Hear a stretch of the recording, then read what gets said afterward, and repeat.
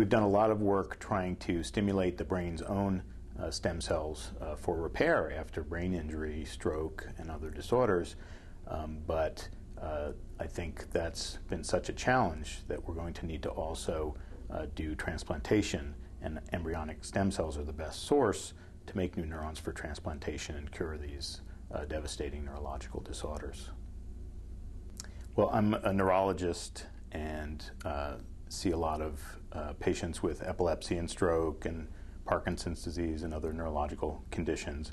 And in the lab, I focus on studying neural stem cells to try to understand uh, how we can use neural stem cells that are already in the brain or ones that we transplant into the brain for uh, brain repair to ameliorate some of these terrible neurological diseases.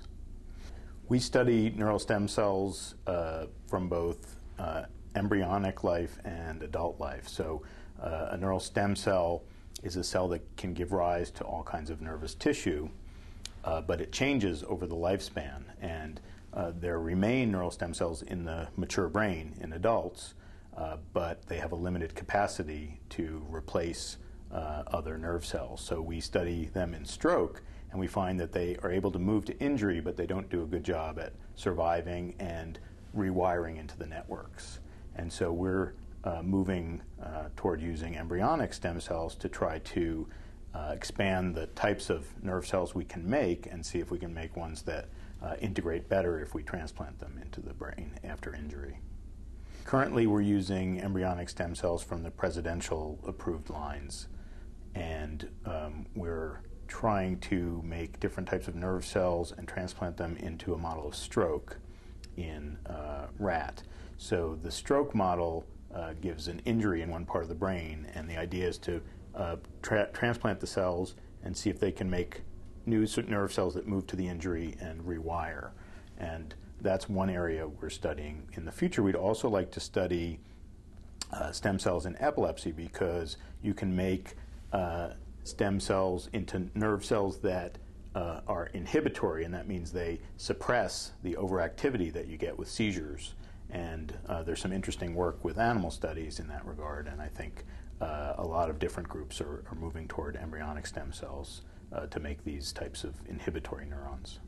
Probably the most work with uh, human embryonic stem cells has been with Parkinson's disease and trying to make the specific type of nerve cell uh, that makes dopamine, the chemical that's lost uh, in patients with Parkinson's disease. And there's been a lot of work and a lot of uh, encouraging progress making these dopamine nerve cells uh, from human embryonic stem cells and transplanting them into animal models of Parkinson's disease, where they seem to survive and uh, integrate into the uh, pre existing circuitry of the brain.